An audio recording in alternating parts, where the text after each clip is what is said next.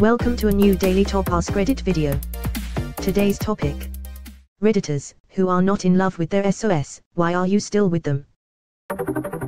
Good question op.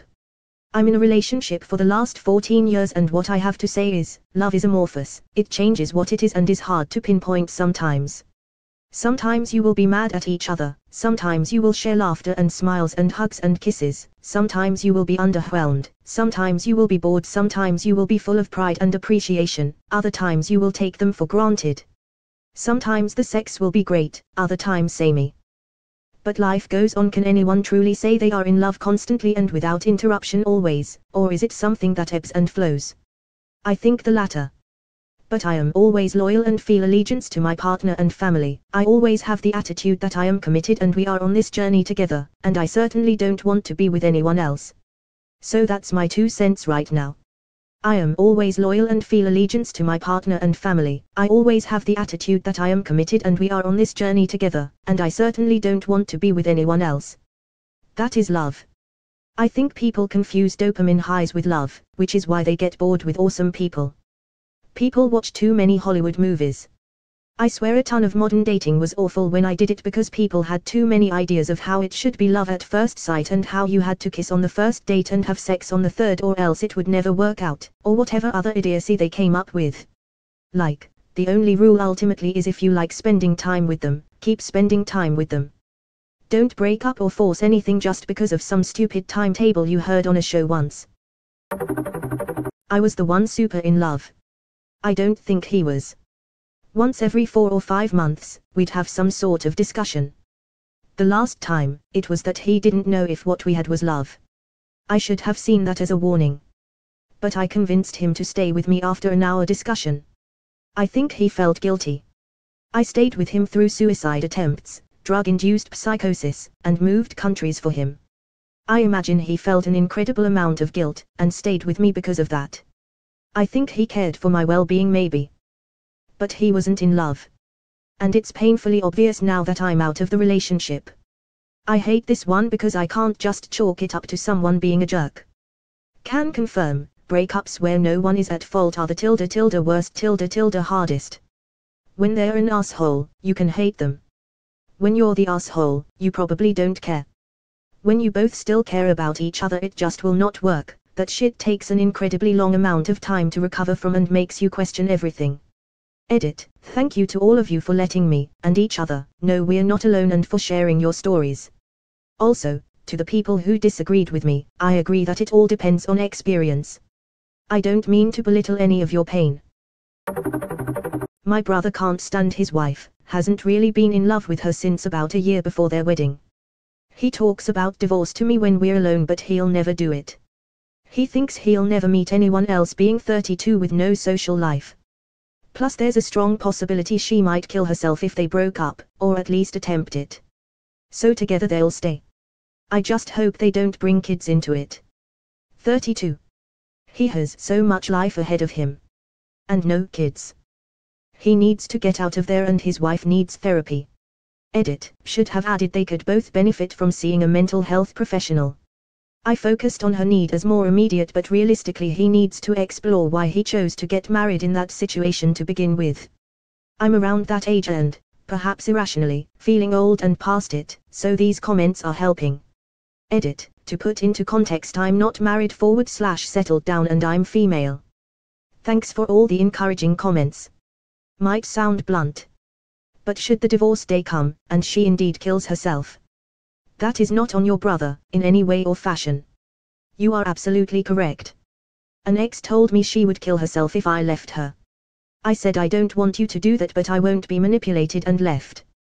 Sometimes you have to be tough and have a strong will. Edit, my first silver, thank you very much. It's great to see so many replies and so much empathy. I hope that anyone in a similar situation to what I went through can see that manipulative people are not your responsibility. Fuck. I'm 32, single, trying to have a social life. That's okay, you know what's worse than being alone being with someone that makes you feel alone. Seriously. At 32 I met one of my best friends ever and about a month before my 33rd day, I met the love of my life. 32 was a fucking decent year. GTF out there and put yourself on the line. We're in our 30s. What do we really have to lose? My parents did not love each other but have stayed together because of children. Oh boy. This shit is common as fuck in India dude. PFFT. Arranged marriages. Tell me about it. My parents got divorced but still live together. It's fucked up for everyone. Our neighbors are from India and in an arranged marriage and have a child, we're in California. The wife told a neighbor what's it like to actually love your husband. Such a strange culture to us Westerners. Edit, changed with to have a for clarity. My boss has been vocal about wanting to leave, but he has kids and no prop, so he can't afford it. My cousin told me about three hours after he got married that he didn't want to get married but now he was terrified he would lose his house and basically all his money, alimony plus child support, if they got divorced.